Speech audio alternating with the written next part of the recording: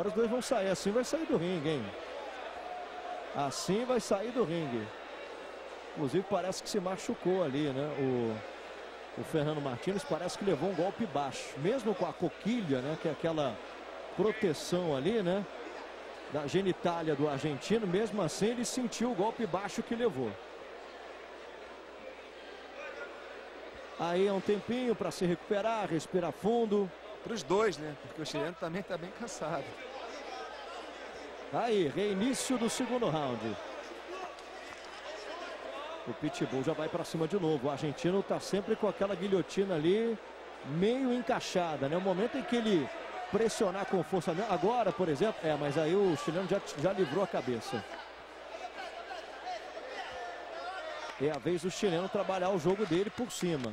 É, mas não sei se dá tempo de reverter o resultado desse round, não.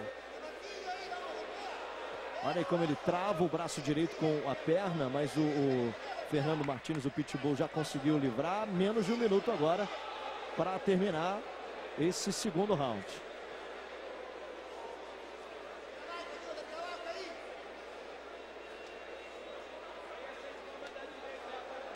Você vê como o argentino ele se agarra né, ao, ao chileno, justamente para evitar dele levantar o tronco, levantar a cabeça e soltar os golpes, ter ângulo para isso. Com certeza, se ele conseguir agarrar até o final do round, ele garante o round, porque ele abriu uma vantagem razoável, então ele não pode deixar o chileno progredir ou golpear muito para empatar ou virar né, o resultado.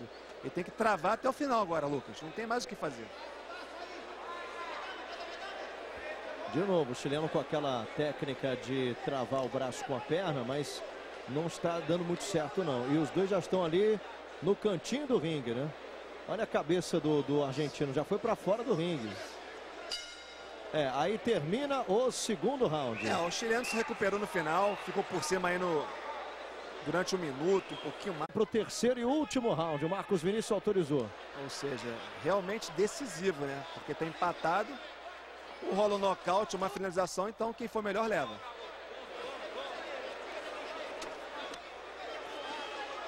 Início do terceiro round, já o clinch ali acontecendo. Vamos ver quem vai levar melhor, quem vai conseguir a queda. O argentino já conseguiu bonitas quedas, principalmente no segundo round. A gente viu de novo, inclusive, uma recuperação de imagem ali, replay, né? A gente viu a queda de novo.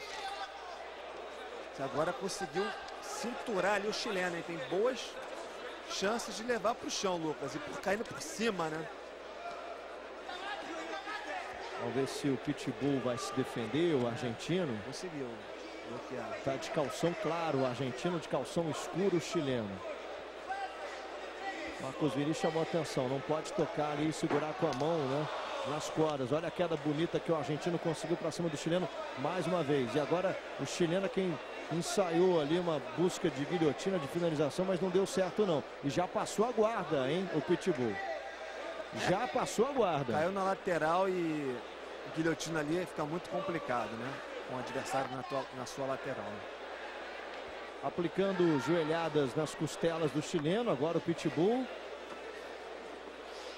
O, o chileno tenta girar o quadril para repor a guarda, não consegue. E o argentino não aproveitou muita posição não, mas agora ele tem a chance de tentar umas joelhadas ali, viu? É, ali não poderia, né? Ele é, segurou é, na última hora. Por causa dos apoios ali, né? Que o chileno tá... Olha só, de novo a tentativa de guilhotina. Já tentou algumas vezes isso. É, mas tá mal encaixada essa, Lucas. Se o chileno sair, tá perdendo o round. Mas se sair, vai ficar por cima, né? E já conseguiu. Já tá por cima aí. Só que a perna esquerda do chileno já está fora do ringue, né? Então aí o Marcos Vinícius, que é o árbitro agora da luta, pede para os dois irem para o centro. Agora o Ortega parece que está bem desgastado fisicamente, né? Mesmo por cima, vamos ver aí se ele vai aproveitar a situação. Temos de três minutos para terminar o terceiro e último round. Esta aqui é a quinta luta, um total de oito combates do Jungle Fight by Pretorian para você ao vivo. E mais uma luta complicada, o argentino na frente, porém agora o, o chileno caiu por cima. Pode trabalhar aí, conseguir alguma vantagem. Tá complicado o julgamento. Por enquanto a gente não tá levando.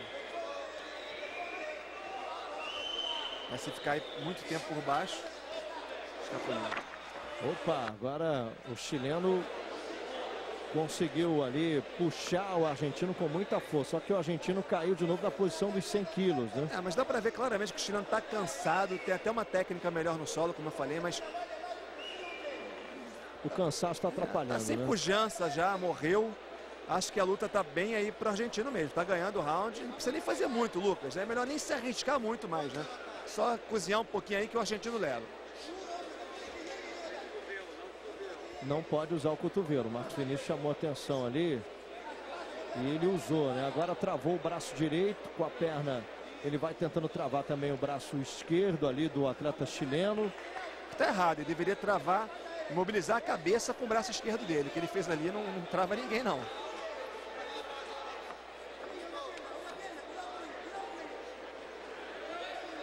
De novo buscando a guilhotina, conseguiu livrar a cabeça de novo o Ortega e os dois vão se alternando, né? Um joga por cima, depois o outro. É, o argentino tem um, encaixa com facilidade a guilhotina, mas está faltando ajustar melhor, né? Tem que treinar esse golpe na academia, porque ele, ele chega nela, mas não consegue o ajuste final, né? Que é, que é realmente importante.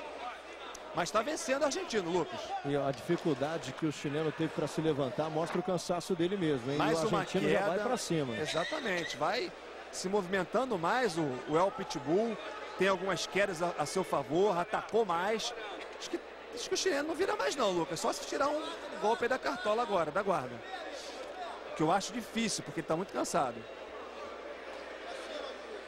Bastante ofegante mesmo o chileno nesse momento. O Fernando Martinez, o Pitbull, argentino vai ganhando. Menos de 30 segundos agora para terminar a luta. Marcos Vinícius manda os dois se levantarem, porque ah, na verdade a luta não está se desenvolvendo muito no solo. E aí o Marcos Vinícius já com pouquíssimo tempo dos dois ali no trabalho de chão, já manda os dois se levantarem. Olha o argentino. Está com tanta confiança que ele pode até nocautear no finalzinho. É, ele é melhor em pé, inclusive está mais inteiro, né? Então é hora até de aproveitar, quem sabe não sair no nocaute, né? mas já foi. Acabou, acaba a luta. É que de vez em quando é difícil ouvir ali o gongo, né? Mas terminou.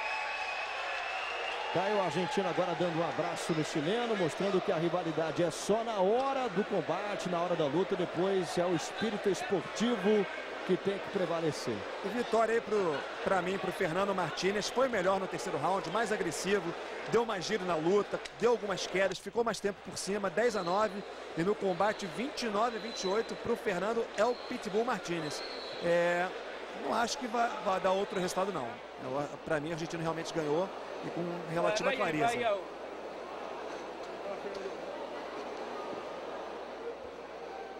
É, tá aí o argentino tentando passar um recadinho também ali para a câmera. O chileno desgastado, diferente, na vigésima edição, que acontece mais uma vez em São Paulo.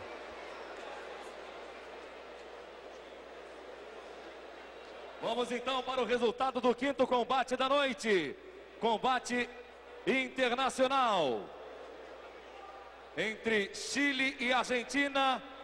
E o vencedor com decisão unânime. Foi o argentino Fernando Pitbull. Uma salva de palmas para Fernando Martinez Pitbull.